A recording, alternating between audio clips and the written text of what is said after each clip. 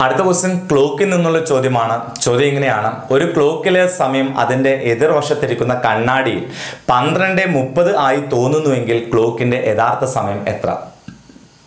മത്സര പരീക്ഷയ്ക്ക് ക്ലോക്കിൽ നിന്ന് ഏറ്റവും കൂടുതൽ ചോദ്യം വരുന്നത് ഒന്നുകിൽ കണ്ണാടിയിലെ പ്രതിബിംബം അല്ലെങ്കിൽ കോണളവ്. ഈ രണ്ട് ക്വസ്റ്റ്യനാണ് ക്ലോക്ക് എന്ന ഈ ടോപ്പിക്കിൽ നിന്ന് ഏറ്റവും കൂടുതലായിട്ട് ചോദ്യം വരുന്നത്. ഓക്കെ കണ്ണാടിയിലെ പ്രതിബിംബം കാണാൻ വേണ്ടി പതിനൊന്നിനേക്കാൾ താഴെയുള്ള സമയമാണ് ചോദിക്കുന്നതെങ്കിൽ പതിനൊന്ന് അറുപത് എന്ന നമ്പറിൽ നിന്ന് കുറയ്ക്കുകയാണ് വേണ്ടത്.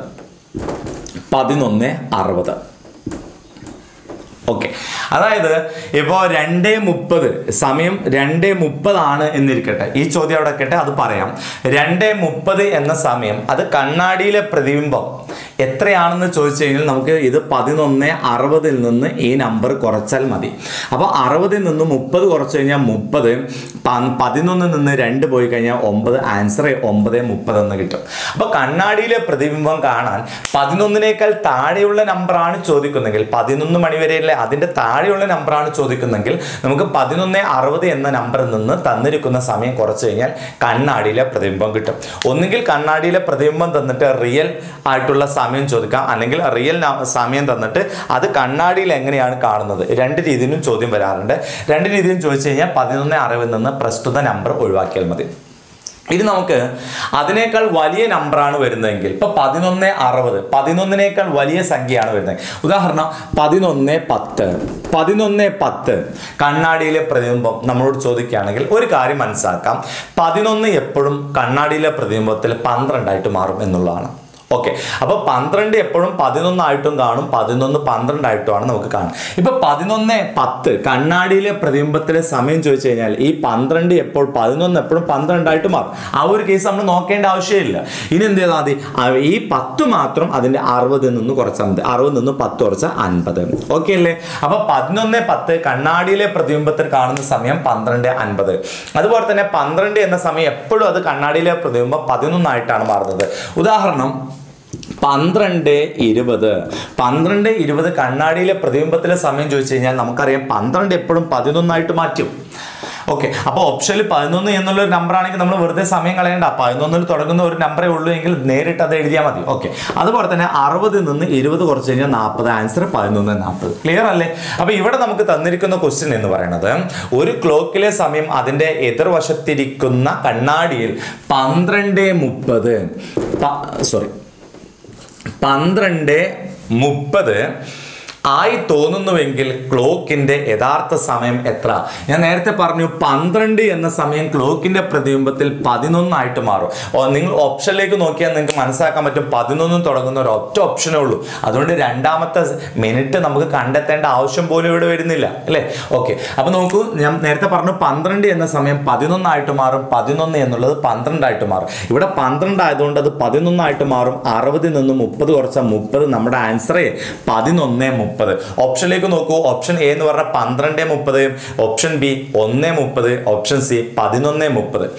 ഓപ്ഷൻ ഡി ആറ് മുപ്പത്. കണ്ടോ? പതിനൊന്ന് തുടങ്ങുന്ന ഒരൊറ്റ ഓപ്ഷൻ മാത്രമേ ഉള്ളൂ. നമ്മുടെ ആൻസർ എന്ന് പറയുന്നത് ഓപ്ഷൻ സി ആണ് പതിനൊന്ന് മുപ്പത്.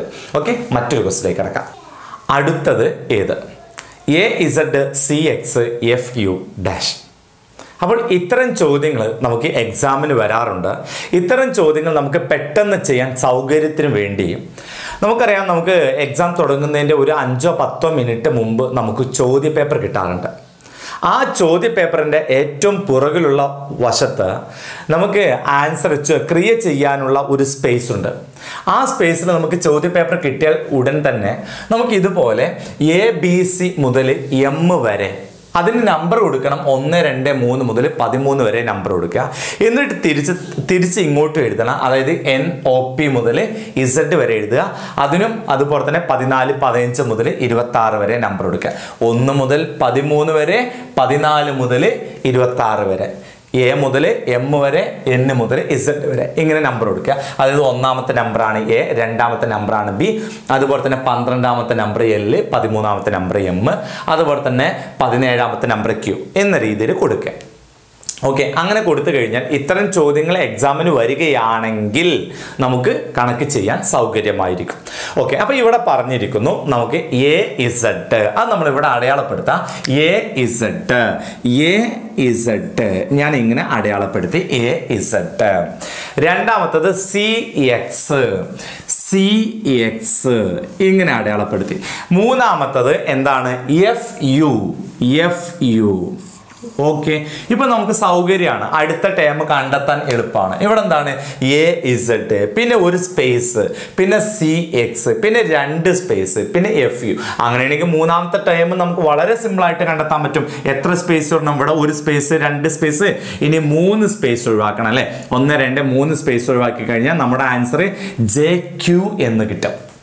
ഇവിടെ option A H S option B I R option C J Q നമ്മുടെ ആൻസർ ജെ ക്യു ഓക്കെ മുപ്പത്തിയാറ് ലിറ്റർ റബ്ബർ പാൽ ഷീറ്റ് ആക്കുന്നതിന് വേണ്ടി രണ്ടര ലിറ്റർ വീതം കൊള്ളുന്ന പാത്രത്തിൽ നിറച്ചാൽ മിച്ചമുള്ള റബ്ബർ പാൽ എത്ര? എത്ര ലിറ്റർ? ഓക്കെ ഇത് കണ്ടെത്താൻ നമ്മൾ ചെയ്യേണ്ടത് മുപ്പത്തിയാറ് ലിറ്ററിനെ രണ്ടര കൊണ്ട് ഡിവൈഡ് ചെയ്യാം. ആ കിട്ടുന്ന പൂർണസംഖ്യയും ഈ രണ്ടരയും ഗുണിച്ചു കഴിഞ്ഞാൽ നമുക്കിതിൽ മിച്ചം വരുന്നത് എത്ര ലിറ്റർ ആണെന്ന് കണ്ടെത്താൻ പറ്റും. ഓക്കെ ഇനിയിപ്പോൾ രണ്ടര കൊണ്ട് ഡിവൈഡ് ചെയ്യാൻ പ്രയാസം ഉണ്ടെങ്കിൽ രണ്ടരന്റെ ഇരട്ടി എടുക്കുക. രണ്ടരന്റെ ഇരട്ടി അഞ്ച്. അഞ്ച് കൊണ്ട് ഡിവൈഡ് ചെയ്താൽ നമുക്ക് ആൻസർ കിട്ടും അല്ലേ? അപ്പോൾ മുപ്പത്തി ആറിന് നമുക്ക് എന്ത് ചെയ്യാം? അഞ്ച് കൊണ്ട് ഡിവൈഡ് ചെയ്താൽ ഏഴഞ്ച് മുപ്പത്തഞ്ച് എന്ന് കിട്ടും. ഇവിടെ ശിഷ്ടം വരുന്നുണ്ട് ശിഷ്ടം ഒന്നാണ്. അപ്പോൾ ഈ പൂർണസംഖ്യയും ഈ അഞ്ചും ഗുണിച്ചത്ര ഏഴഞ്ച് മുപ്പത്തഞ്ച്. ഇതിന്റെ അർത്ഥം എന്താണ്?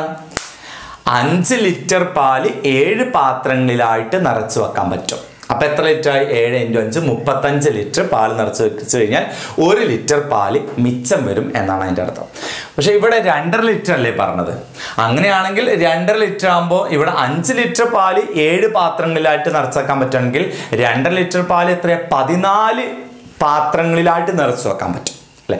അപ്പൊ രണ്ടരയും പതിനാലും ഗുണിച്ചാലും നമുക്ക് മുപ്പത്തഞ്ച് കിട്ടുക രണ്ടരയും പതിനാലും ഗുണിച്ചു കഴിഞ്ഞാൽ മുപ്പത്തഞ്ച് തന്നെ കിട്ടുക. അപ്പോൾ രണ്ടര ലിറ്റർ പാൽ പതിനാല് പാത്രങ്ങളിലായിട്ട് നിറച്ചു വെക്കുകയാണെങ്കിൽ മൊത്തം മുപ്പത്തഞ്ച് ലിറ്റർ പാൽ നമുക്ക് നിറക്കാൻ പറ്റും. അപ്പൊ എത്ര ലിറ്റർ മിച്ചം വരും? ഇവിടെ മുപ്പത്തി ആറ് ലിറ്റർ പാലുണ്ടല്ലോ. അപ്പോൾ ഒരു ലിറ്റർ പാൽ മിച്ചം വരും എന്നർത്ഥം. അപ്പോൾ ഇവിടെ ക്വസ്റ്റ്യൻ ഓപ്ഷൻ പറഞ്ഞിരിക്കുന്നു. ഓപ്ഷൻ എ ഒരു ലിറ്റർ. നമ്മുടെ ആൻസർ എന്ന് പറയുന്നത് മിച്ചം വരുന്ന പാൽ ഒരു ലിറ്റർ എന്നാണ്. ഓക്കെ അപ്പോൾ നമ്മൾ ഇപ്പോൾ പഠിച്ചത് രണ്ടായിരത്തി പതിനാല് വി ഒ എക്സാമിലെ മെന്റൽ എബിലിറ്റിയുമായി ബന്ധപ്പെട്ട ചോദ്യങ്ങളെക്കുറിച്ചാണ് ഇത് ഇവിടെ പൂർണമാകുന്നത് ഓക്കെ താങ്ക് സോ മച്ച്